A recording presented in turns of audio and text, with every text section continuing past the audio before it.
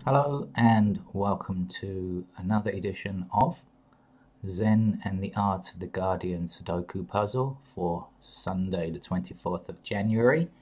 Um, there is no Guardian today because it's a Sunday uh, and so we will be playing the Observer Sudoku. The Observer does not give a rating on difficulty.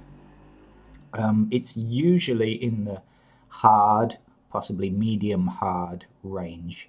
Um, and looking at the number of digits, I might guess, hazard a guess, and say that that's probably what it's going to be. But until we get going, who knows for sure? What's happening in the news today?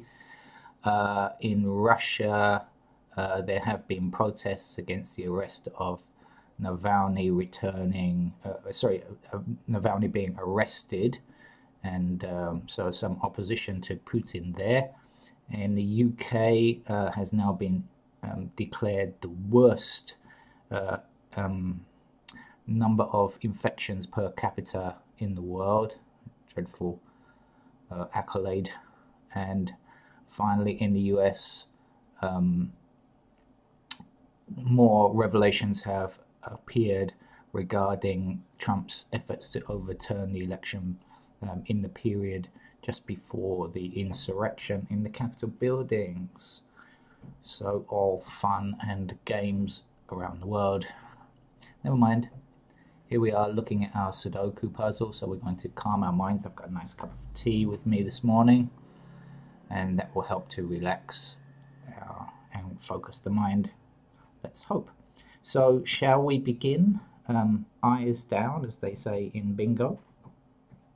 Um, what occurs to me first? Oh, since this has no level, um, and I, it may turn out to be an easy level, in which case there may be some beginners, I shall very, very quickly go through the rules, but you should know them by now, I hope. Uh, in each segment, uh, there's a large grid divided into nine segments. Each segment needs one to nine digits, one to nine in each square, each of the nine squares. Each column needs one to nine, and each row needs one to nine. That is it. That is the entirety of the rules of Sudoku, but how we play the game depends on you. Right. First of all, what I like to do is just let my eyes rest on the page and see if anything looks lovely, and it does because I can see fours. These fours seem to stand out to me. Um, fours down this column, fours down this column here, and four across this row, meaning the only remaining square where a four cannot go is here. So we put that in in large, bold lettering or numbering, I should say, of course. And uh, just wandering around the grid with my eyes, I noticed that also fours are in, there's a four in this column here, eliminating this square, this square, and this square. And there's four in this column here, meaning no fours can go here or here. There is a four across this row here and here. So blocked, blocked, blocked, blocked a 4 has to appear here. Nowhere else. And there we are. So that got rid of a few 4s for us. Um, now that we've filled in this 4, uh, that will help us because there's only one remaining square on here in this uh, in this segment and I can see that 8s are coming down this column here 8s are coming down this column here and therefore an 8 must appear here like so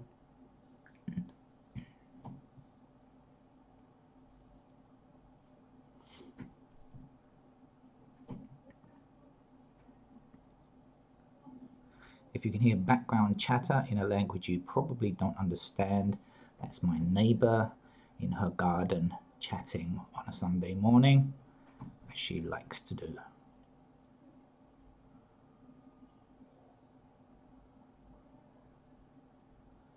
And I don't have soundproofing.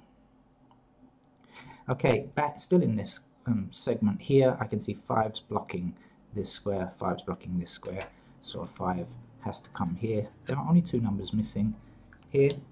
Um, the missing numbers are one, two is missing, three, four, five, six is missing, two and six are missing, but two clearly can't come in this central square because it's already in this row. So two is going to come here, and the final six will complete this section here. Excuse me, my video was interrupted by a telephone call, but I'm back focusing now. Um, so where were we? Oh yeah, I believe I've just filled in this segment here. So um, let's uh, get back to my eyes wandering around the board. Grid, I suppose it's called, technically. Um,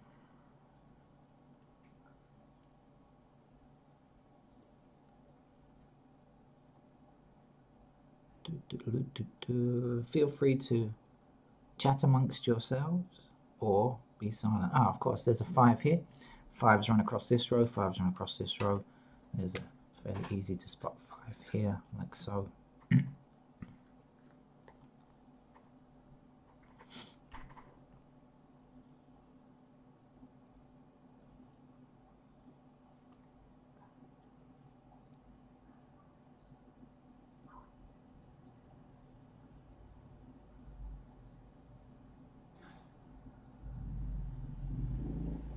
I always try to do the easy ones first.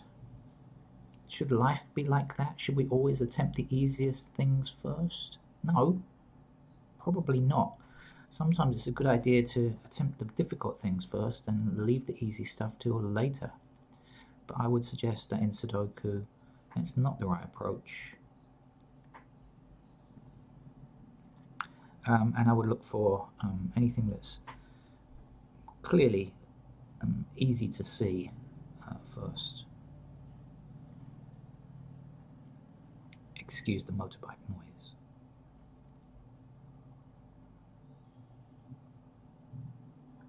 I can see a lot of pairs, but I generally try to avoid writing in any candidates until I really need to. I mean, you know, I feel I really need to write in the candidates because otherwise I'm not going to get anywhere. And so I'm still looking to see if there are more that I can fill in without um, writing in the candidates. And I'm not sure that there are. I think I'm going to have to start writing in candidates. So I'm going to assume, I'm going to take it from that, that this is a harder level puzzle. Um, as I said, the um, Guardian does not, um, uh, sorry, the Observer does not uh, mention um, what rating it gives. But I'm going to assume that here. So uh, um, I'm going to um, do some things that look kind of random, but I think I've spotted a, a, a bit of a pattern here and so um, you may just have to bear with me and, and, and, and see. But I, am not even sure that is a pattern, but I feel like I've seen something. I've just seen something about sixes and threes that seem to be drawing me towards some kind of pairing here. But uh, let's just see. So if I notice that sixes in this column here runs up and uh, does not allow any sixes here, and there's a six in this row here, it means there's a pair of sixes that we can fill in as candidates here, like so. And there are sixes along this row here and this row here, so blocking and blocking. So the only places where six is available are here and here. If we come up here then, so we know that this six extends across, these possible sixes extend across, they have to go somewhere along this row and so there are two locations here, 6 and 6.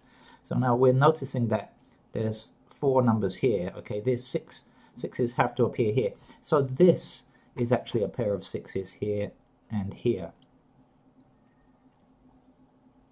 And I noticed that there are threes along here and along here in the same um, position, right? Threes are blocking this row here and blocking this row here. So that's going to be a pair of threes up here, which is useful because once you have two numbers that are a pair like this, um, they are exclusive to each other and can't be filled in anywhere else. Now I also noticed that there's a 3 block, so that means 6 and 3 have to go here or here. It means there can't be any 3s here, There's also a 3 blocking this square here. So that is, in fact, also a pair of 6 and 3 here, like so. Um, I have, hope that will come in handy later on. Um, excuse me. Uh, where else are we going with sixes? I noticed. Okay, there are. I'll just. I'm doing this fairly randomly. I, I tend to do that. I tend not to be uh, absolutely fixed and rigid in, in the way that I go forward. If I see pairs, especially ones that are related to numbers that I'm concerned with, um, then I'll fill them in immediately. I can see that there are nines down here and nines here. So this is going to be a pair also, an exclusive pair, six and nine. This is great. When we have a pair of numbers, we know that anything else um, can't be um, filled in in those squares. So the other numbers have to appear in these squares outside.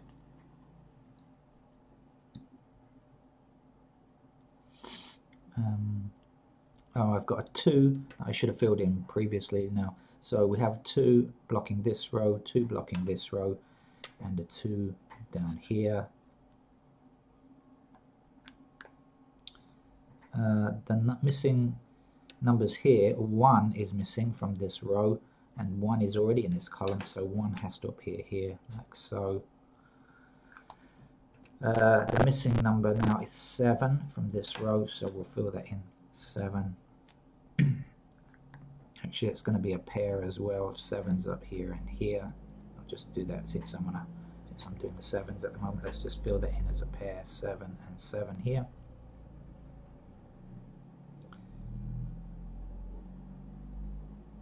um, we can see these nines. Nine is not, there's no nine in this segment here, and nine runs across this row. So we're going to have a nice pair of six and nines here. So we can fill in these two numbers as well.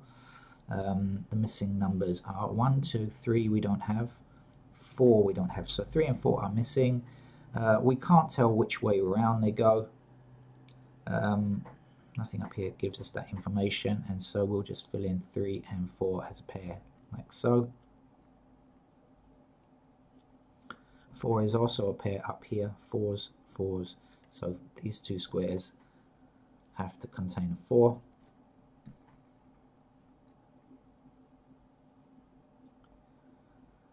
Um, these missing this missing number we must be able to find also because we have everything else 1 2 we don't have a 3 here so 3 has to appear somewhere in the either this square or this square, but we see immediately there is a 3 blocking from this column here. and so put a 3 in here, and that has to be a 7. What's missing here? 1 and 8. 1 and 8 are the missing numbers. Anything giving us information as to which is which? No, so we can just fill in that as a pair 1 and 8 like so.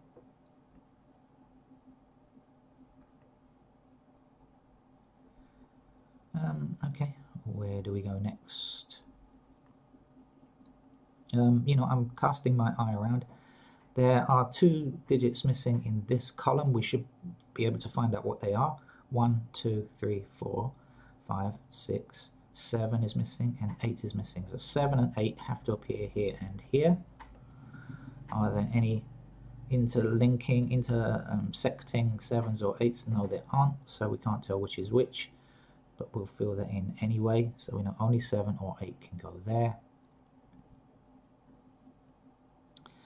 Um, if we consider ones now, remember this is out of the way, this is out of the way. So one, if we can take this one up this column here, we know that one has to appear either here or here. It can't come here or here, it's six or three, not there, seven or eight one up here. There are two possible locations for one, like so. Um, if we consider the other number missing here is 2, if we take this 2 up, like so, and we notice that again it can't come here or here or here or here, so there are two possible locations for 2. So what does that tell us now? We know that 2 has to come here or here. It means that this 4 doesn't go here now because we are limited to either one or two, nothing else. We can remove candidate 4 and it was part of a pair so we can fill it in there. There is only one number missing from here now which is 5, I believe. And so we'll write in the number 5 here.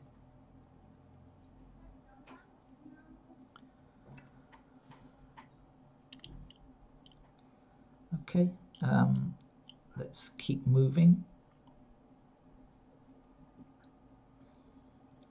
Um, I have no particular preference in which direction to go, except that I did notice something.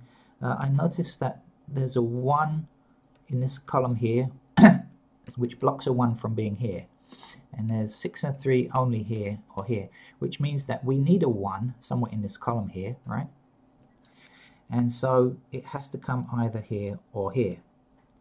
Now also earlier on we noticed that 1 is on this left column and center column here can't appear here so there's no 1 here so that means that a 1 has to appear in this square this square this square there's a 1 in the middle here so we can find a pair of 1s like that. Uh, on this side we can also find a pair of 1s by extending this one across and this one in the um, central column. So that's going to be a 1 and a 1 there.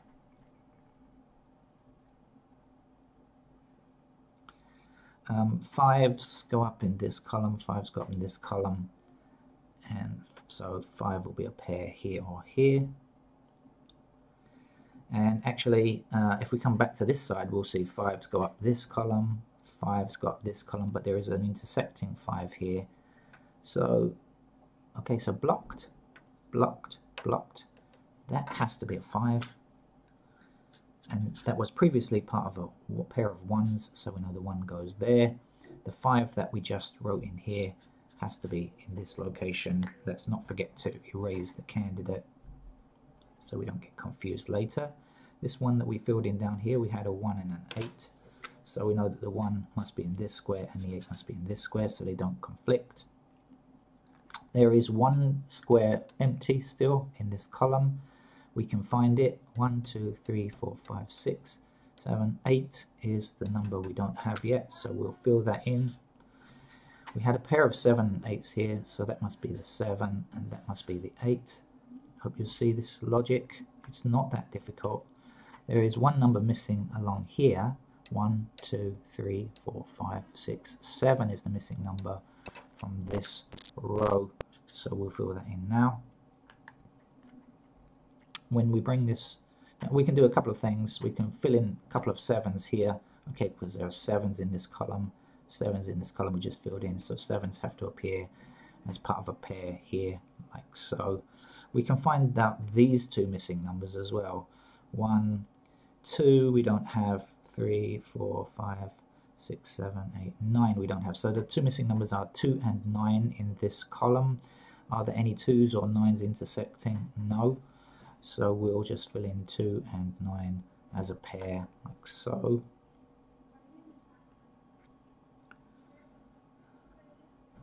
Threes, threes are blocking um, this column down here, like so. So 3 is going to be a pair here or here. Okay, now on this, back to this side, don't get too hung up in one area when you see something else. Keep, you know, looking around. Now threes are blocking this column here, right? So that means that threes are going to appear here or here. And what does that tell us? It means that this has to be a 3. Okay, you can see that if you look around, you'll see actually there's a 3 blocking here, 3 blocking here, a 3 blocking here. And uh, we already know that 6 or 3 has to appear in either of these two squares. And so uh, we know that because there is no availability of a 3 in this row here for this segment or this segment and there's only one location here so that has to be a 3 that has to be a 6 okay. Um, the 7s are blocking here. You may be wondering why I don't come back and do this. Well I, I will in a second. I just kind of see things and I think well while I'm doing that, I shall continue. Um, I've noticed that 8's here, okay, is on a row, 8's in this column, and so 8 is the missing number here and if we bring the 8 across we are extending from this row this row there's an 8 up here. Only one location for 8 it has to go there like so. Uh, we must know what this missing number is. 1 2 3 4 5 6 7 8 9 missing number is 9 are there any intersecting 9s nope. So we'll write 9 as the candidate. Um, okay let's come back to here 1 2 3 4 5 6 is missing um, okay so there's an intersecting 6 along here and an intersecting 6 up here so blocked and blocked um, so there are three possible locations for six. I'm gonna, that's the only missing number. Um, I'm gonna hold off because I have a feeling we'll just stick to the pairs for the moment because um, I have a feeling we, you know, numbers that are greater than pairs we might not even need to do. Uh, 2 and 7 are missing from here. Let's fill in 2 and 7 from this segment. And now that we've done that, we see that this 2 cannot exist here and this is part of a, a pair of 2 and 1 so the 2 is going to have to be here so that's going to be a 1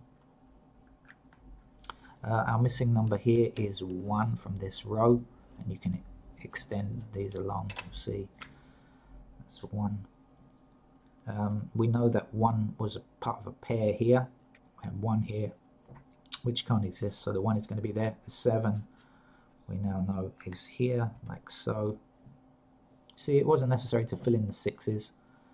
Didn't need to do it. Could have done. Could have filled in uh, 666, right? Like the devil's symbolism uh, in those three squares. Um, but we didn't, and we didn't need to, because now we can see that clearly. Remember, this is a pair, 2 or 9 only. 6 can't come here, so that's the 6. That's the 3 up in this square. That's the 6. Uh, that's the 9, the only remaining um, number from that segment. Um, let's keep let's move back again. Uh, this is the only place that's not really filled in much. So what do we have? One. Do we have twos? No, we don't have twos. So twos are intersecting along here. And they come here, here, here. Three, four, five, six, sevens. How about sevens? Sevens sevens are not allowed here but are allowed in other places. Okay. All right uh, so now we're gonna we are gonna have more than two candidates I guess. Let me just make sure I haven't seen anything else that's really obvious. Of course I have uh, this six that's filled in now of course can't come here. That has to be the six. That has to be the nine. Back across again. This nine can't exist here. It has to be there. So that's the two. This nine here. Nope that's the 9, that's the 7, back across, that's the 7, that's the 1. So we didn't even need to go higher than pairs here. The missing number here is 2. Uh, that 3 can't be there, 3 has to appear here. That's 2, that's the 2, that's the 7. Um, what do we have left? Down here, 6, 3, 4. Okay, the 4, take this 4 down, 4 can't be here. So that must be 4, leaving that as 3. Back up again. That can't be 3. That's the 3. That's the 6. Back down again. 6 has to appear here. The 9 has to appear here. You'll see that simply by using pairs. I think it was a medium to a hard level, something like that. Um, as as quantified or classified or rated by the Guardian. That's my guess. Um, but um, we didn't even need to fill in numbers, you know, candidates that were greater than pairs. Just simply by filling in pairs, managed to solve the puzzle. No special techniques necessary, just looking around the board and constantly looking for pairs and eliminating those um, that you can eliminate as you go along. Um, maybe that's a, a way to approach life is to solve problems as they come. Each as you find one, try to solve that problem. Try to take a fairly simple approach to solving problems. Don't overthink things and get things so complicated that you end up in a, a mass of a sea of uh, confusion. That's a nice cliche that I'll finish with today's Sudoku on. Thank you very much. Tomorrow is another working week day if you have such a thing as a working week in this pandemic. I tend not to. Um, thank you very much, and back to the Sudoku, Guardian Sudoku tomorrow. Thank you. Bye bye for today.